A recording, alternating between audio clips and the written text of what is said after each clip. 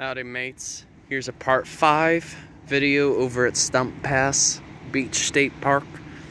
So as, as promised, I was going to make a video devoted to this uh, sea turtle nest. So one thing to note right away is it is from usually May 1st till the end of October that it is sea turtle nesting season. So that basically means it's usually around that time of the year when they will start to come over to a beach and start nesting. So there are up to seven separate species of sea turtles in the world, but you usually there are only five that are found in you know like the United States region. But the most common sea turtle that you will find here in Florida, especially, is the loggerhead, also known as the Caretta caretta. So, the loggerhead turtle is so named because of its very dense head and the fact that their jaws are strong enough to basically bite through clams, mollusks, and other shelled organisms. They have a jaw powerful enough to do that. So they have a very strong bite reflex. Amazingly, you know, loggerheads can actually live for up to 30 to 50 years, which is quite amazing, by the way. That's, that's a long time. Now, another fascinating aspect of sea turtles in general is they have existed for quite a few hundreds of millions of years. But they've even been around since before the dinosaurs. So they're like some they're like one of the oldest known reptiles on this planet. But I saw when I entered here, so you can even see more lined up along the dunes. So, turns out, specifically at Stump Pass Beach State Park, there have been up to 61 recorded loggerhead sea turtle nests. And then as a calculation for all of Manasota Key, there have been over 1,300.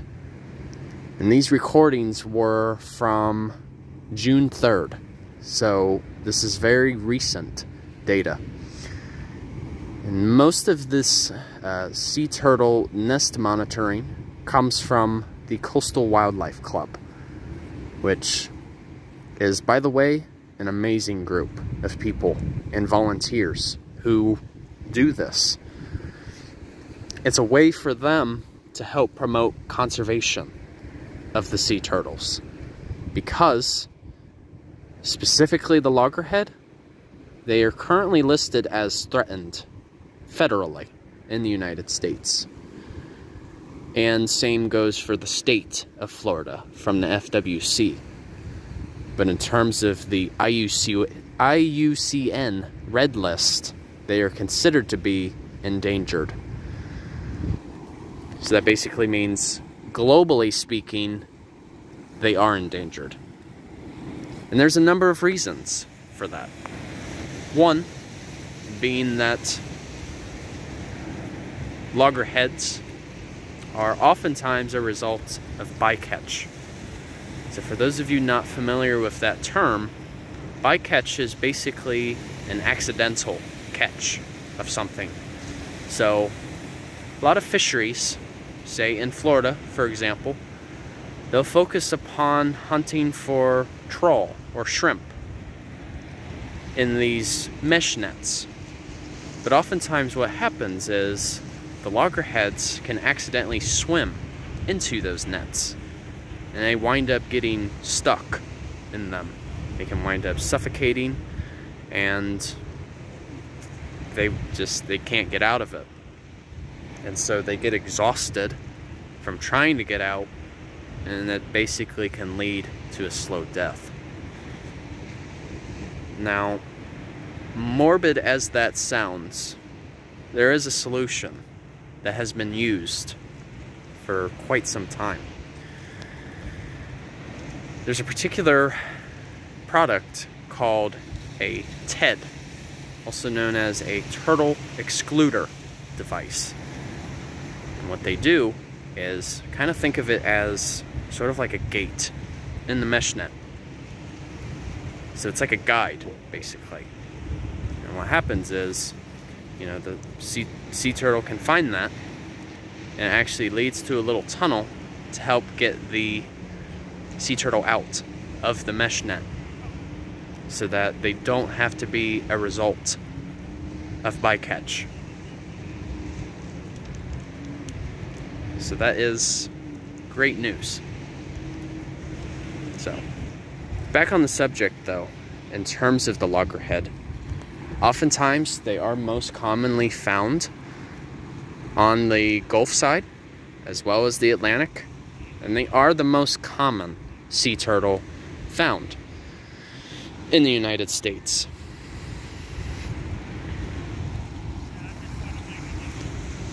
Now, oftentimes when it comes to sea turtle nests, what happens is they will use a it's kind of like a like a film right there that just basically prevents a person from accidentally stepping on it. And then they use the stakes to basically designate that nest.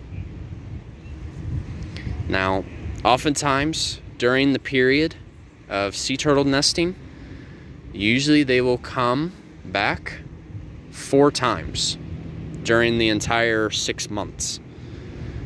And the most amazing thing about it is the mother knows exactly where to return to where they hatched.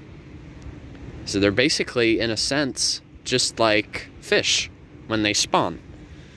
They have that same pattern. They know exactly where they were born, and that's where they, where they will go to incubate eggs for their next generation. Now, usually it takes about two months for the hatchlings to to get out of the eggs and then eventually make their way into the ocean. And usually each batch can have up to 100 to 120 eggs. Because unfortunately, a lot of them can't make it because of our seabirds out here that oftentimes feed on them.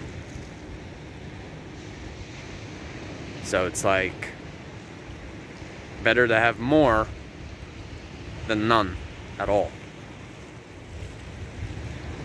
But you have to figure these hatchlings, they have to travel a decent ways to get to the water. So it's basically like a battlefield for them. You know, like what may seem like just, you know, maybe about a hundred yards for them, that would be something like a mile. So think about that for a second. Let that marinate.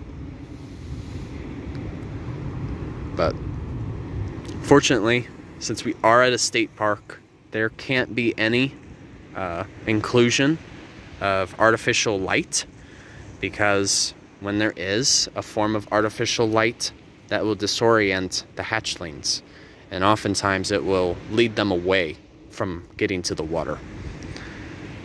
So that's that's a bonus.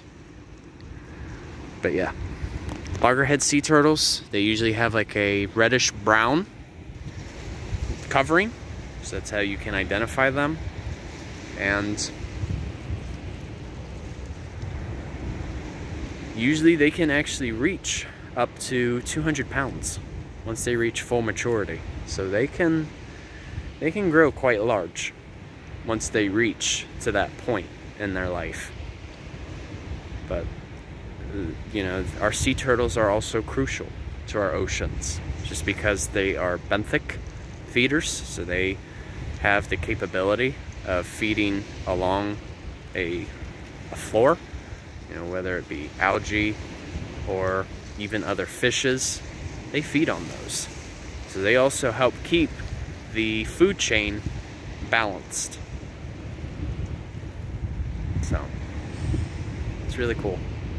So I'll be sure to uh, post a link regarding the uh, loggerhead sea turtle in case if any of you want to learn more about them as they are the most common sea turtle in the United States. And for a lot of us who are traveling down here and even moving down here, we might as well take an opportunity to learn more about them. So, all right, you guys, thanks for watching. Hope you enjoyed this video. And Journey on a Journey is outwards. Take care, folks. See ya.